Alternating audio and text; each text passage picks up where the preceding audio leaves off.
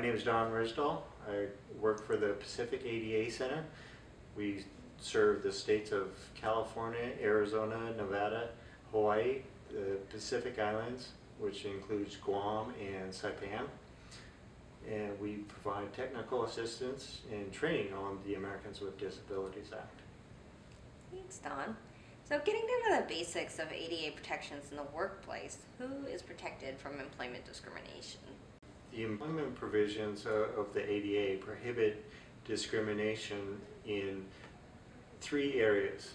Uh, One prohibits discrimination against a, a person with a, a physical or a mental impairment that substantially limits a major life activity. Someone that has a record or a history of, of a, a disability or an impairment.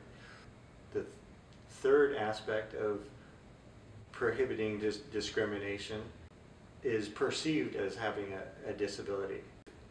The ADA prohibits an employer for, from making any, any adverse employment decisions based on their perception of whether or not somebody has a disability.